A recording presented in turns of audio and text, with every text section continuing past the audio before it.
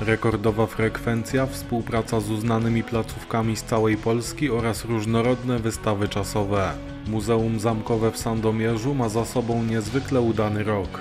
Kolejne miesiące upłyną pod znakiem dalszego poszerzania oferty i zachęcania, by sandomierski zamek odwiedzali kolejni mieszkańcy i turyści. Zaplanowano już najważniejsze wystawy, które będzie można podziwiać w królewskim mieście. Po dwóch latach funkcjonowania w warunkach pandemii widać bardzo duże zainteresowanie ofertą Sandomierskiego Muzeum. Dość powiedzieć, że jest ono znacznie większe niż w okresie poprzedzającym pandemię, gdy nie było żadnych ograniczeń. W 2022 roku placówkę odwiedziło ponad 65 tysięcy osób. Dotychczas rekordowy wynik wynosił prawie 48 tysięcy i został osiągnięty w 2021 roku. W 2020 roku muzeum odwiedziło 36 tysięcy ludzi, a w 2019 roku było to niespełna 45 tysięcy zwiedzających. Takim najlepszym mm, znacznikiem, że tak powiem, powodzenia, e, jakim cieszy się dana instytucja kultury, a zwłaszcza taka instytucja jak muzeum, czyli e, instytucja szczególnie bliska ludziom, bliska turystom, ale też mieszkańcom Sandomierza czy okolic, instytucja, którą się odwiedza, przychodzi się czy na, oglądać wystawy stałe, czy wystawy czasowe, zwłaszcza te, te drugie, generalnie w polskich i nie tylko w polskich muzeach są takim istotnym magnesem, który napędza, że tak powiem, tą napędza tą działalność bieżącą każdej instytucji muzealnej, jest oczywiście frekwencja. I no, y, trudno tutaj ukrywać, że rzeczywiście ten ostatni rok, rok 2022, był bardzo, bardzo dla nas pod tym frekwencyjnym e, względem dobry. Wpływ na doskonały wynik miał nie tylko brak obostrzeń, ale przede wszystkim zróżnicowana i ciekawa oferta. W 2022 roku w Muzeum Zamkowym poza ofertą stałą były wystawy czasowe, które są dla miłośników historii i kultury najciekawsze. Te podejmowały zróżnicowaną tematykę, dzięki czemu zachęcały więcej osób do odwiedzenia muzeum.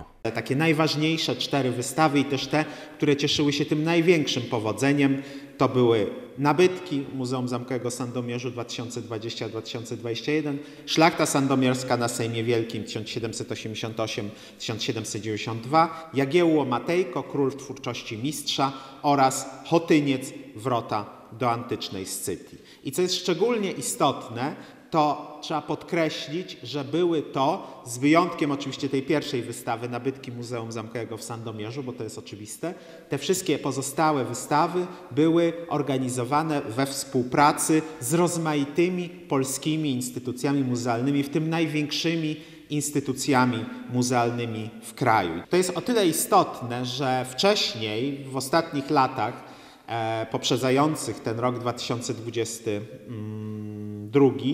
E, wiele wystaw w naszym muzeum, jeszcze w czasach Muzeum Okręgowego, to były często wystawy mm, albo y, opierające się na naszych własnych zbiorach, albo na przykład wystawy, które tak krążyły po Polsce i były, że tak to ujmę, wynajmowane.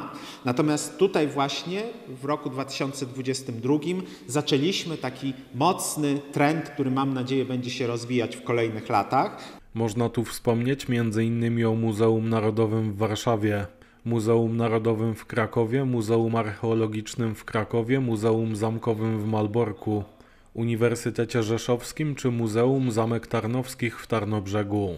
Organizacja wystaw w oparciu o własny projekt i pomysł, ale we współpracy z uznanymi partnerami to kierunek, który ma być realizowany także w kolejnych latach. Chciałbym wyraźnie zaznaczyć, co, że tak powiem, tutaj nie będę bardzo oryginalny, e, bo to pewnie Państwu powie każdy dyrektor każdej instytucji i nie tylko muzealnej, ale w ogóle instytucji kultury w Polsce. Rok 2023 na pewno będzie rokiem e, bardzo trudnym pod względem finansowym. Biorąc to pod uwagę i, i, i, wszystkie ograniczenia budżetowe związane zwłaszcza z dotacjami celowymi, czyli tymi przyznawanymi w ciągu roku na konkretne e, wydarzenia, takie właśnie jak wystawy, to my jednak staramy się i mamy tutaj zabezpieczone środki na ten cel, jednak tą e, atrakcyjność naszej oferty utrzymać, a wręcz ją rozwinąć. żeby rzeczywiście Muzeum Zamkowe w Sandomierzu coraz było bardziej rozpoznawalną instytucją kultury, ale nie tylko w Sandomierzu czy w województwie świętokrzyskim, ale też w całej Polsce, a nawet i może tutaj, a nawet i może szerzej, czemu chociażby e, służą pierwsze próby nawiązywania ściślejszej współpracy, chociażby na przykład z instytucjami e, litewskimi. W 2023 roku Muzeum Zamkowe w Sandomierzu planuje przygotowanie trzech wystaw czasowych które mają na celu dalsze budowanie prestiżu placówki i przede wszystkim podtrzymanie dużego zainteresowania mieszkańców i turystów. Pierwsza wystawa zostanie otwarta na początku lutego. To Imago Terre Sandomiriensis, skarby kartografii ze zbiorów Muzeum Zamkowego w Sandomierzu. To będzie wystawa poświęcona e, przede wszystkim naszym własnym zbiorom, zbiorom map, od wieku XVII po wiek XX, ściślej po okres II wojny światowej. Niekiedy naprawdę prawdziwe perełki e, o znaczeniu no, ogólnopolskim, więc tutaj naprawdę można się spodziewać wielu niezwykle ciekawych obiektów, e, które normalnie nie są pokazywane, które znajdują się w naszych magazynach też ze względu na brak prawda, odpowiedniej przestrzeni magazynowej, czy przestrzeni wystawowej.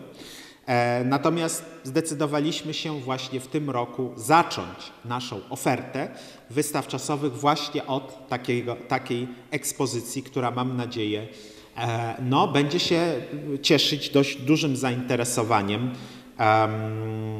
również ze strony mieszkańców Sandomierza i jego okolic, ze względu na to, że ona będzie przypadać na pierwszą połowę roku, jeszcze ten okres taki mniej turystyczny, jeżeli chodzi o o, o, mm, o Sandomierz, więc, więc tutaj siłą rzeczy tą wystawę też kierujemy zwłaszcza do mieszkańców. Następnie w szczycie sezonu przypadającym w Sandomierzu na sezon turystyczny przygotowana zostanie druga wystawa czasowa w 2023 roku.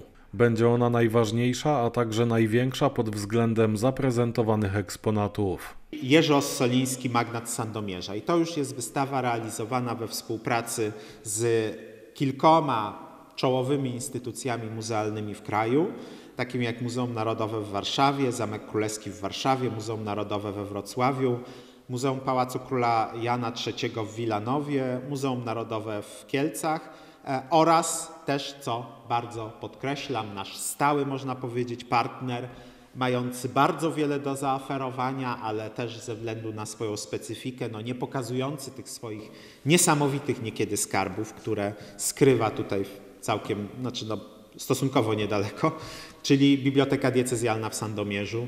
Wystawa Jerzy Ossoliński, magnat Sandomierza, będzie tą świetną okazją do zobaczenia nie tylko tych obiektów znajdujących się normalnie w Warszawie czy, czy w Krakowie, ale również tutaj, można powiedzieć, na miejscu, choć niedostępnych na co dzień e, dla takiego zwykłego przechodnia, a bardziej e, dostępnych dla historyków, e, historyków sztuki, generalnie naukowców. Po zakończeniu sezonu turystycznego w drugiej połowie roku Muzeum Zamkowe w Sandomierzu planuje organizację ostatniej wystawy czasowej w 2023 roku. Będzie ona poświęcona pamięci honorowego obywatela Sandomierza oraz znakomitego etnografa Janusza Kamockiego. Człowiek zaangażowany w działalność patriotyczną w okresie II wojny światowej i w pierwszych latach po II wojnie światowej E, to jest ekspozycja, którą realizujemy we współpracy z Instytutem Pamięci Narodowej, a ściślej z e, oddziałem delegaturą w Kielcach. I okazją do e, otwarcia tej wystawy i w ogóle do jej organizacji są dary. Dary, które jeszcze w zeszłym roku, ale też przez cały rok 2022, a w tym obecnym roku będą kolejne stopniowo właśnie przychodzą do nas dary spadkobierców Janusza Kamockiego, e, zwłaszcza obiekty związane ściśle z Sandomierzem e, i rodziną Kamockich. E, wystawa niby bardziej o takim lokalnym charakterze, ale postać, tak jak pamiętamy, odznaczona pośmiertnie Wielkim Krzyżem Orderu Odrodzenia Polski, E, i generalnie, zwłaszcza w takim środowisku kombatanckim związanym z Armią Krajową, e, z żołnierzami e, Armii Krajowej, e, bardzo rozpoznawalna.